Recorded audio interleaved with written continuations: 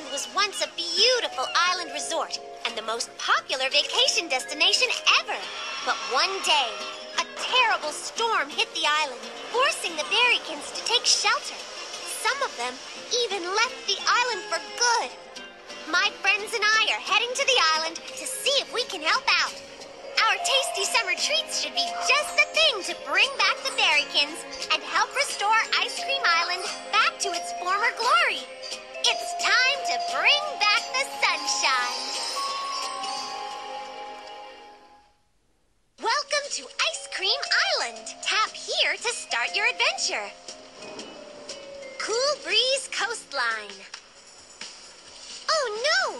This poor berrykin is closing down Cool Breeze Coastline's hiking trails because of the storm. Don't worry, we're here to help. Maybe a little ice cream will cheer you up.